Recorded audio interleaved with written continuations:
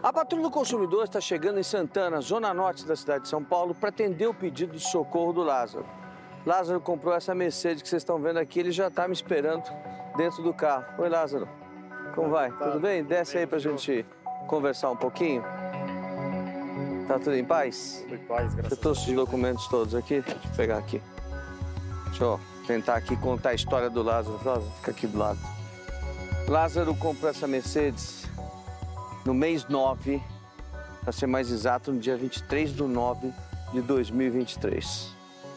Só que o carro tá bonito, e muito bonito, diga-se de passagem, mas cheio de problemas. Começou com um problema no farol.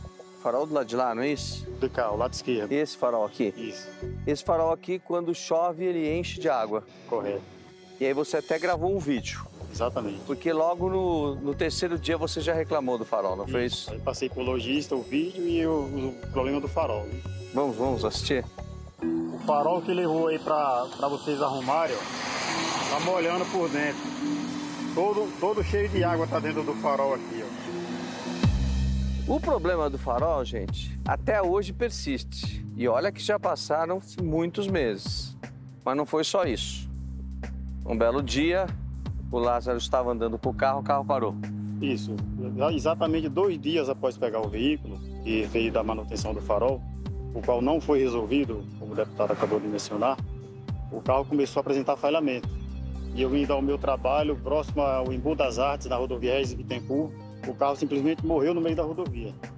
Parou, parou na rodovia, perto de Embu. Exato. Como ele estava Você estava você tava do lado direito ou do lado esquerdo da rodovia? do lado esquerdo a 80 por hora. E deu, deu tempo de você parar o carro? Eu consegui colocar no neutro e jogar o carro para acostamento, onde corria um risco tremendo. Se você não colocasse no neutro, você ia ter um problema ali. Sério. Ia parar no meio da rodovia. Aí você parou o carro, teve que guinchar o carro. Exato. Eu fiz um vídeo, né, do problema que aconteceu no momento e enviei também para o lojista. A gente tem o vídeo, vamos ver? Ô Júlio, cara, o carro morreu aqui, ó, cara. O mesmo defeito, eu saindo pro trabalho aqui agora. Fiquei parado agora aqui, velho. Bom, ele pediu pra você levar o carro. Correto. Você levou o carro pra arrumar. E aí? E aí, quando eu pego o carro, que eu vou verificar, na verdade é o seguinte, nesse mesmo dia do, do vídeo, eu presenciei um cheiro de combustível no carro, né? Hã? E ao abrir o capô do carro, eu percebi que o capô não descia mais. Não ficava suspenso, na verdade. Que temos um vídeo também. Enquanto você vai falando, a gente está assistindo. E quando foi feita a compra do veículo, eu pedi para verificar o motor, as coisas de prática que acontecem. E o capô ficou levando suspenso só. Uma vende- coisa ele fez da maneira correta. Ele deu uma levantada no carro, o motor estava bom, tinha outros problemas, o motor estava bom. Isso é uma coisa que todo mundo tem que fazer, né? Compra um carro, tem que levar no mecânico para verificar como é que está o carro. Mas aí você descobriu um vazamento. Exato. Quando, quando eu fui verificar, para tentar identificar onde era o vazamento, o capô não se mantinha aberto.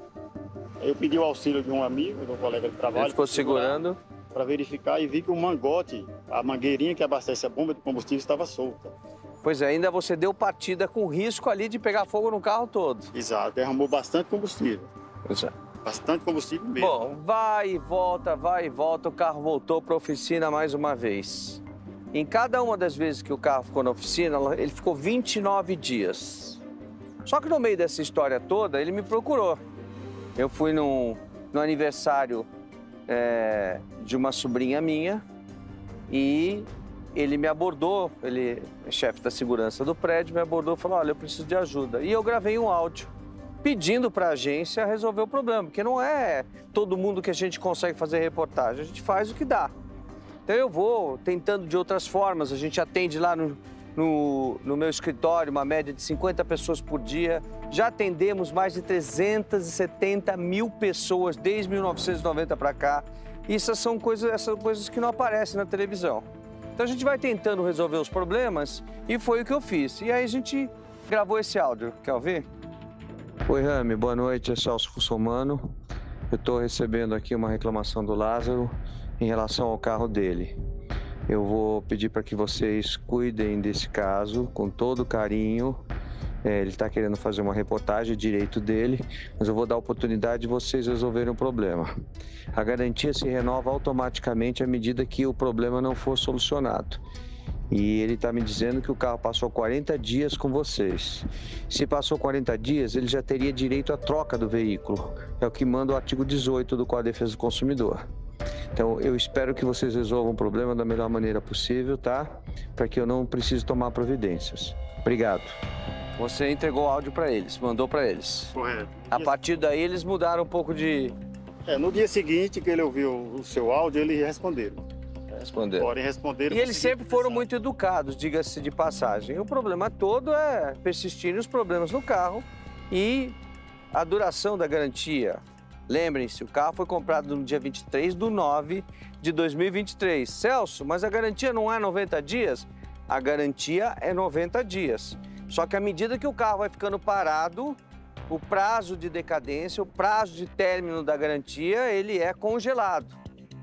E aí vai se somando esses prazos, em determinado, em determinado momento eles resolveram até, depois do áudio que eu fiz, dizer que o carro ia ter mais 90 dias de garantia. Até gravaram um áudio e mandaram para você, não foi isso? Vamos ouvir? Conforme eu havia te dito já, você pode trazer o carro aqui, nós vamos solucionar o problema. Se ele está morrendo, se a luz da injeção está acesa, qualquer problema que o carro tenha, o veículo continua na garantia. Nós vamos solucionar para você. Conforme eu já tinha te avisado na segunda-feira, é só você ver o melhor dia, trazer o carro para a loja, que nós vamos levar para a oficina para solucionar o problema. É, nós estamos de férias coletiva, vamos retornar no dia 3, na quarta-feira, e os sócios vão retornar no dia 8. Então, se você quiser já no dia 3 trazer o carro para a gente encaminhar para a oficina e solucionar o problema, fica à vontade, a loja vai abrir a partir das 9 horas da manhã. Você pode vir o horário e o dia que for melhor para você. Bom, arrumaram o problema do vazamento, arrumaram o problema da bomba, não arrumaram o problema do farol, é, consertaram o vidro do lado de lá que estava emperrando.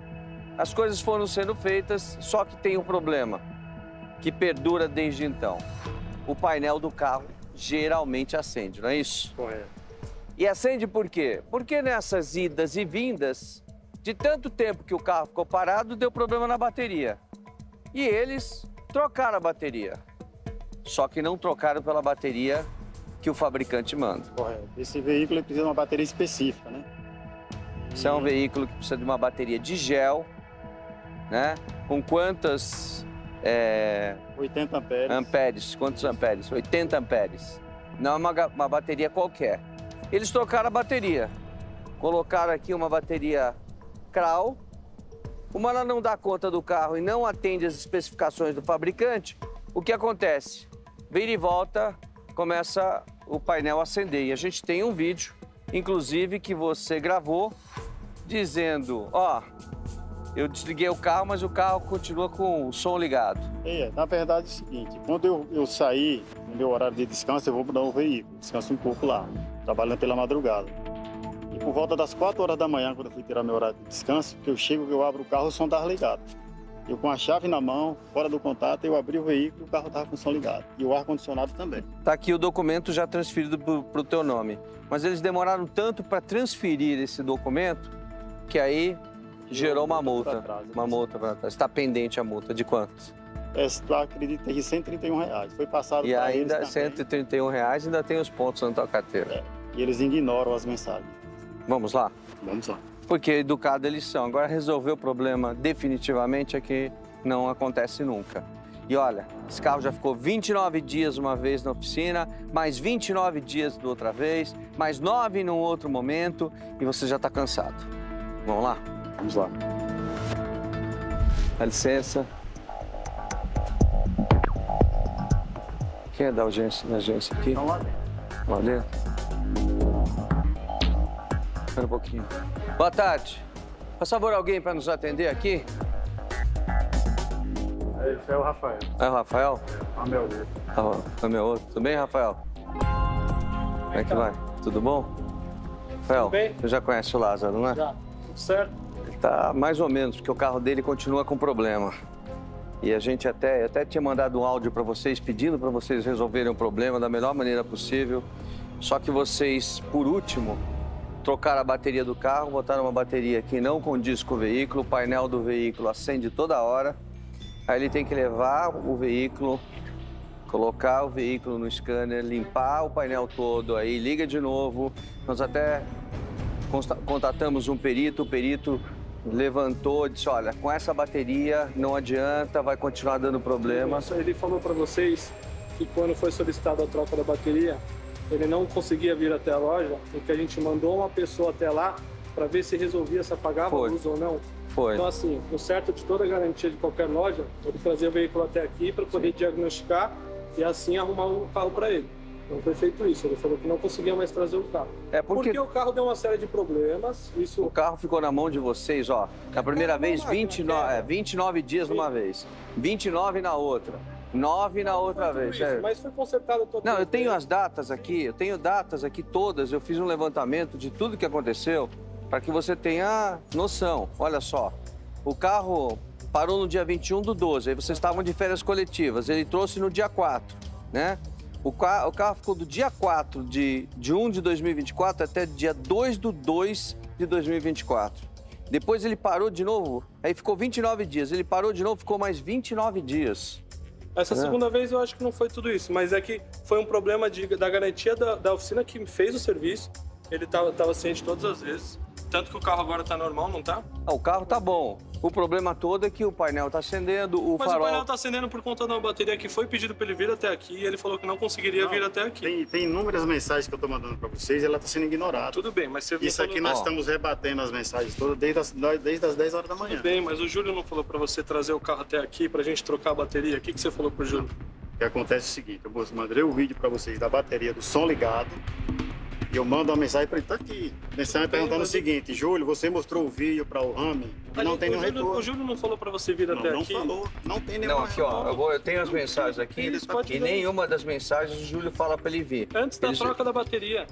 Foi ele só, ele só não responde. Tanto que a gente pediu para um rapaz, ele tinha essa bateria que não é a certa, a bateria certa é uma AGM, que é para ver se sumia a luz que estava no Rafael, painel. Essa no painel aqui... tem uma luz escrito bateria, não sei o que lá. Aí a gente falou, vamos colocar bateria? Se, mesmo que ela não é AGM, se for o um problema de bateria, vai apagar essa luz. E não apagou. Então tem e... mais alguma coisa. É o seguinte, essa mensagem eu mandei com esse vídeo, uhum. onde eu mostro nesse vídeo que o próprio rapaz que trocou a bateria condena a bateria pro veículo. Sim, Eu ele... faço esse vídeo é, para concluir. O, o rapaz que foi colocar a bateria, ele falou o seguinte, ó, eu não vou preencher esse certificado de, de garantia, porque você vai ter que trocar essa bateria, Sim. porque essa bateria não serve para esse carro e ele vai dar problema. Sim. Vai acender o, o, o, o, painel. Depois dessa data aqui, pergunta para o Júlio se ele me mandou alguma mensagem para trazer o veículo aqui. Não mandou. Não, mas a única, a única reclamação sua era que estava entrando água no farol. Isso? Ainda tem isso? Desculpa, mas você sabe que não, eu não tenho muito a ver com esse problema de água no farol. Não sei se ele pegou alguma coisa embaixo, pegou um para-choque. Não, mas isso, peraí, mas no primeiro dia ele saiu com o carro daqui que molhou o carro. Não, não, não, não. É, é, é o problema do farol. Não, o farol suando. É o farol daqui, suando e não acendendo. Nós temos, ó, é. olha, olha só, é um livro isso daqui, ó. Você pegar a primeira, o primeiro dia, quando ele comprou o carro, ele já reclama do farol. Você conhece melhor aqui esse material?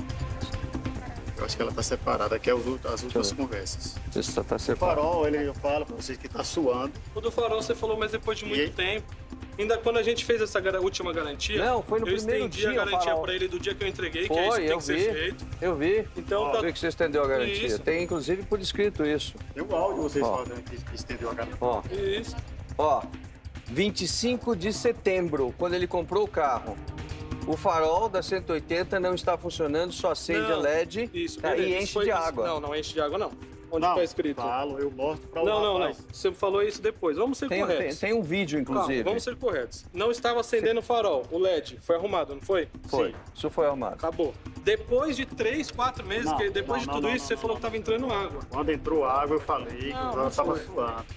Vamos ser corretos. A gente é correto em to de todas as formas. Certo, você sabe certo. disso. Você veio aqui reclamando do farol que estava com LED. Foi consertado, não foi? Sim. Não, depois Você só me falou que tava entrando água depois agora. Faz um mês, dois meses, ó. Tá, tá entrando água no farol, tá entrando água no farol. Então tem o vídeo, você tem o vídeo pra mostrar pra ele? Sim, mas Quanto a tempo da foi? água no farol, eu não sei se ele deu uma encostada, eu não sei o que acontece. Não, não não, é interno, é interno. Tudo Problema é bem. interno. Você pode ver, Mas não tem mais é vaca coisa nenhuma. tão besta que é só ele vir até o carro aqui, só que ele não vinha com o carro pra cá, nem pra ver a bateria, nem pra ver o resto das coisas. Eu vou deixar aqui meu, meu contato, Tá bom, tá bom? E a gente mantém contato Fechou. pra mostrar que resolveu o problema. tá bom. Tá bom? Obrigado, Obrigado, tá? Hoje viu? eu te um passo o prazo, hoje. tá bom? Tá bom. Valeu. Deixa o carro aí e a gente volta pra mostrar o que aconteceu. Importante que resolva o problema. O Lázaro, Lázaro, ele gosta do carro, ele tá feliz com o carro, só precisa resolver os problemas, tá certo? Deputado, muito obrigado, tá? Muito obrigado mesmo. E A gente eu acho volta, que essa é a palavra, a A gente gratidão. volta. A gente volta para mostrar o que aconteceu. Né? Sendo bom para ambas as partes, pelo menos provisoriamente, Celso Russomano, na Patrulha do Consumidor. Conforme prometido, a agência trocou a bateria do carro do Lázaro. E todos, gente, todos os problemas do veículo foram sim resolvidos agora. É mais um caso solucionado pela Patrulha do Consumidor.